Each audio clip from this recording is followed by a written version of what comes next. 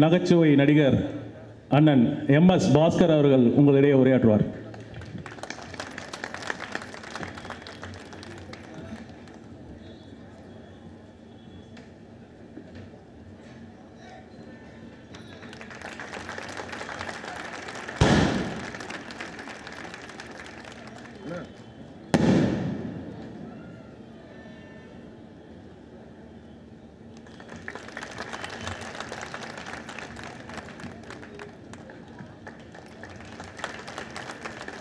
இந்த இனிய விழாவிற்கு ஏற்பாடு செய்து இங்கே வந்து மேடையில் அமர்ந்திருக்கக்கூடிய அனைத்து பெரியவர்களுக்கும் எனது பாசத்திற்கும் அன்பிற்கும் உரிய சகோதரர் இந்து சமயம் மற்றும் அறநிலையத்துறை அமைச்சர் ஐயா அவர்களுக்கும் மற்றும் இந்த இனிய விழாவிற்கு வந்திருக்கும் உங்கள் அனைவருக்கும் ஒவ்வொருவருக்கும் என்னுடைய மனமார்ந்த நன்றிகளும் வணக்கங்களும். புகழ் அரங்கம். நிச்சயமாக இது வந்து புகழ்வதற்கு உண்டான ஒரு அரங்கம்தான். புகழ்வதற்கு ஆயிரம் காரணங்கள் இருக்கின்றன. அது எல்லாவற்றையும் தனித்தனியாக நான் எடுத்து சொல்ல வேண்டிய அவசியம் இல்லை ஏன்னாக்க உங்கள் எல்லாருக்குமே தெரியும். நிச்சயமாக இந்த புகழுக்கு உரியவர்கள் அப்படின்னு. நாங்கள்லாம் வந்து ஆண்டவருடைய பக்தர்கள். ஆண்டவரை நேசிப்பவர்கள். ஆண்டவரை பூசிப்பவர்கள்.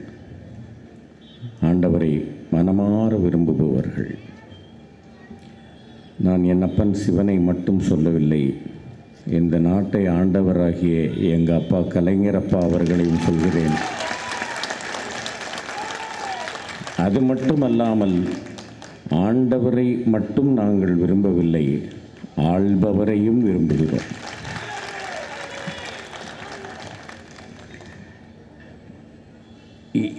என்னை பற்றி நான் பெருசாக நான் வந்து சொல்லிக்கிறதுக்கு ஒன்றும் இல்லை. நான் இங்கு வந்து இந்த நிலைப்பு நிற்பதற்கு காரணம் எங்கள் அப்பா கலைஞரப்பா தான்.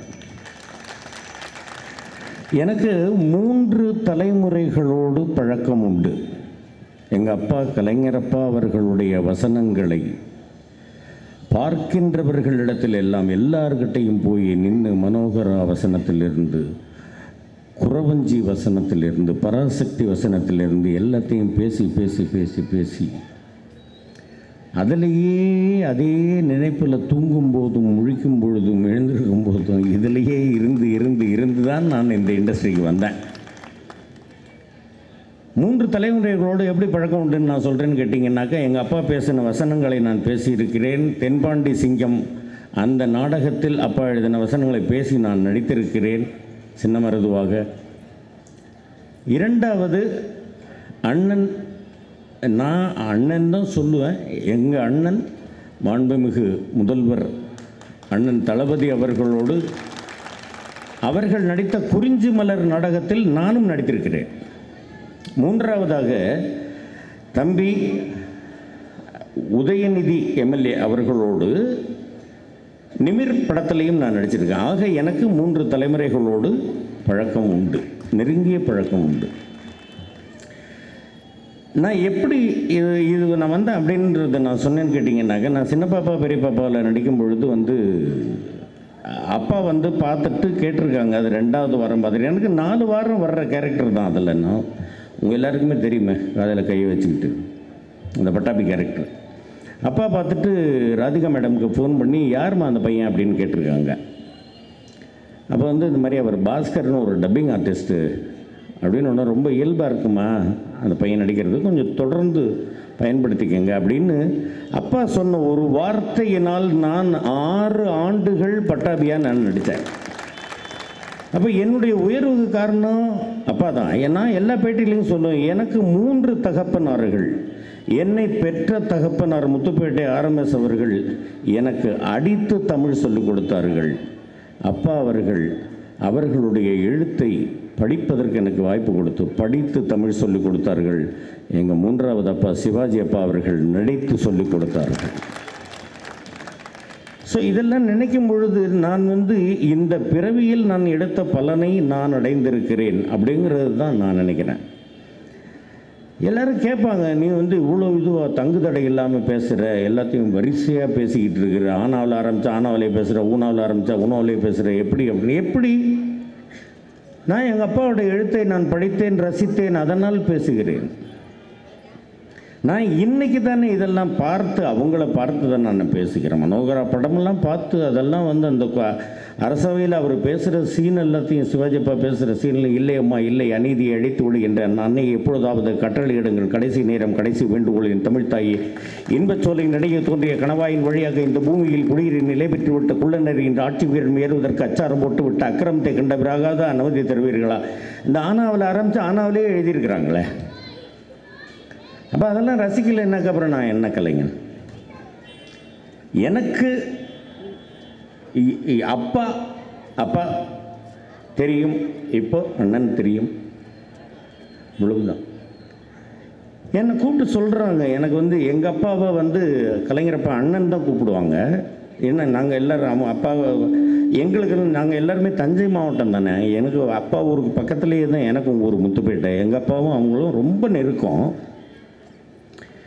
அப்போ மொழி படத்துக்கு எனக்கு அவார்டு கொடுக்குறாங்க. அவார்டு கொடுக்கும் பொழுது நான் போகிறேன் எல்லாருக்கும் கொடுத்து கொடுத்து அனுப்பிக்கிட்டே இருக்கிறாங்க. நான் போனோன்னே எனக்கு கொடுக்கல. கையில் வச்சுக்கிட்டே இருக்கிறாங்க என்னை பார்த்துட்டு. அதுக்கு முன்னாடியே வந்து ஒரு ஜூன் மூன்றாம் தேதி அப்பாவோட பிறந்த நாளுக்கு நான் வந்து அறிவாலயத்தில் போயிருக்கிறேன். நான் வந்து அப்பா வர்றாங்க. நான் ஷால் வந்து அப்பா கையில் கொடுத்துட்டு நமஸ்காரம் பண்ணேன். அப்போ துரைமுருகன் அண்ணன் சொன்னாங்க பட்டாபி வந்திருக்காருன்னு. கிட்டக்க வந்து நீ ஆண்டவன்னு எனக்கு தெரியும் அப்படின்னாங்க. நான் செல்வியில் ஆண்டவர் லிங்கம்னு ஒரு கேரக்டர் நடித்தேன் அதில் ஆண்டவன் ஆண்டவன் கூப்பிடுவாங்க. அது சொன்னோன்னே நான் அப்படின்னா சொன்னேன் அப்போ நான் முத்துப்பேட்டை நான் முத்துப்பேட்டை முத்துப்பேட்டை ஆர்எம்எஸ் அம்மா அவருக்கு என்ன? அப்புறம் இல்லை அவர் பையன் தான்ப்பா நான் அப்படியா? சோமண்ண மகனா? நீ வாயா வாயா நம்ம குடும்பம் ஐயா அப்படின்னு தட்டி கொடுத்தாங்க. ஸோ அதற்கு பிறகு நான் அப்பாவை வந்து மொழி அவார்டுக்கு எனக்கு வந்து இரண்டாயிரத்தி ஏழாம் ஆண்டிற்கான சிறந்த குணச்சித்திர நடிகர் விருது. அதுக்கு அப்பாவை போய் பார்க்குறதுக்கு நான் போயிருக்கும் பொழுது பார்த்துட்டு நமஸ்காரம் பண்ணேன் அப்போது பேராசிரியர்கிட்ட வந்து சொன்னாங்க முத்துப்பேட்டை சோமண்ண மகன் அப்படின்னு. சரி அதுக்கப்புறமா இந்த அவார்டு ஃபங்க்ஷனில் எல்லாருக்கும் கொடுத்து கொடுத்து அனுப்புகிறாங்க நான் போனோடனே கொடுக்கல அவார்டு கையில் வச்சுக்கிட்டு இருந்தாங்க. உட்காரியான்னாங்க நான் காலுக்கிட்ட உட்காந்தேன் தொழிலெலாம் எப்படியா போகுதுன்னாங்க. நல்லபடியாக போயிட்டு இருக்குப்பா அப்படின்னு. பார்க்குறேன் எல்லாத்துலேயும் ரொம்ப நல்லா பண்ணிக்கிட்டு இருக்க நீ என் பிள்ள நான் சொல்கிறேன் கேட்பையான்னாரு என்னப்பா இப்படி சொல்கிறீங்க நீங்கள் என்ன சொன்னாலும் கேட்குறேன் நீ எல்லாருக்கும் வேண்டியவனாக இருக்கணும். எந்த கட்சியிலையும் சேர்ந்துடாதன்னாங்க இல்லைப்பா அப்படிலாம் இல்லை. ஏன் சொல்கிறேன் அப்படின்னா அந்த இடத்தில் அவர்களுடைய அந்த இரட்டொரு மொழிதல்னு சொல்லுவாங்க. இரண்டு பொருள்பட பேசுதல். சொல்கிறாங்க ஏன்னா நீ எதுலேயும் சேராத ஏன் சொல்கிறேன் அப்படின்னா கலைஞன் எல்லாருக்கும் பொதுவானவன் அப்படின்னாங்க. எனக்கு சிரிப்பு வருது நான் எப்படி மேடையில் சிரிக்கிறது? அதாவது நான் வந்து திரைக்கலைஞன். அவங்க கலைஞர். அவங்க சொ- அவங்க சொல்கிறதில் தன்னையும் சேர்த்து சொல்லிக்கிறாங்க. இந்த அளவிற்கு அப்பாவினுடைய தமிழை நான் ரசித்தவன் நேசிக்கின்றவன். அவர் ஃபஸ்ட்டு எங்கள் அப்பா இறந்துட்டாங்க. அடுத்தது சிவாஜி அப்பா இறந்துட்டாங்க. மூணாவதாக கலைஞரப்பா நம்மை பிரிந்த பொழுது நான் அப்போ தான் நான் சொன்னேன் முதலில் என் தகப்பனார் என்னை விட்டு பிரிந்தார். இரண்டாவதாக எங்கள் சிவாஜி அப்பா என்னை விட்டு பிரிந்தார். இன்று என் தமிழுக்கு ஆசான் கலைஞரப்பா என்னை விட்டு பிரிந்து விட்டார். இன்றுதான் நான் உண்மையிலேயே அனாதையாகிவிட்டேன் அப்படின்னு சொன்னேன். என் மனசு ரொம்ப வலிச்சுது. ரைட் யாராக இருந்தாலும் ஒரு நாள் சென்றுதான் ஆக வேண்டும்ங்கிறது உண்மை. அதை நான் ஒத்துக்கிறேன். ஆனால் அப்பா அவர்கள் தன்னுடைய மறு பிரதியாக மறுபதிப்பாக அண்ணன் அவர்களை விட்டு சென்றிருக்கிறார். அண்ணன் அவர்களுடைய நல்லாட்சி எல்லோருக்கும் நன்மையை ஏற்படுத்தி தரும். நிச்சயமாக அப்படிங்கிற ஒரு நம்பிக்கை எல்லோருடைய மனதிலும் இருக்கின்றது. நிச்சயமாக நல்ல ஆட்சி நடந்து கொண்டிருக்கின்றது. கொஞ்சம் கூட அன்னைக்கு கூட பாருங்கள் சைக்கிளில் போகும்போது ஒரு சின்ன பையனை கூப்பிட்டுக்கிட்டு வழியில் உட்காந்து ஒரு டீ கடையில் டீ குடிச்சிக்கிட்டே அந்த பையன்கிட்ட பேசிக்கிட்டு இருக்கிறாங்க. நான் ஒரு பெரிய ஒரு ஆச்சரியம் எனக்கு. அண்ணன் வந்து ஒரு பெரிய முதலமைச்சர் அப்படிங்கிறதோடெல்லாம் அந்த எண்ணம் இல்லாமல் எல்லோரோடும் இணைந்து பழகி உங்களில் ஒருவன் அப்படின்னு சொல்லியிருக்கிறாங்கன்னா நிச்சயமாக அவர் நம்மில் ஒருவராக இருப்பதற்கு நாம் பெருமைப்பட வேண்டும். அப்படிங்கிறது தான் உண்மை. அண்ணன் அவர்களுக்கு என்னுடைய மனமார்ந்த வணக்கங்கள். நிச்சயமாக நாங்கள் எங்கள் எல்லாருக்கும் நீங்கள் தான் ஆதரவாக இருக்கணும் அப்படின்னு நான் கேட்டுக்கிறேன். இந்த நிகழ்ச்சிக்கு என்னை அழைத்த அன்பு சகோதரர் அமைச்சர் அவர்களுக்கும் என்னுடைய இன்னுமொரு சகோதரர் திரு பூச்சி முருகன் அவர்களுக்கும் என்னுடைய மனமார்ந்த நன்றிகளை தெரிவித்துக் கொள்கிறேன். எல்லோரும் சொல்லியிருப்பது போல் பதினாறு வகையான செல்வங்களையும் பெற்று எல்லோரும் பெருவாழ்வு வாழ வேண்டும். இந்த ஆட்சி சிறக்க வேண்டும். தமிழ்நாடு இந்தியாவிலேயே முதன்மை மாநிலமாக வர வேண்டும் என்று எல்லாம் உள்ள இறைவனை வேண்டிக் கொள்கிறேன். நன்றி வணக்கம்.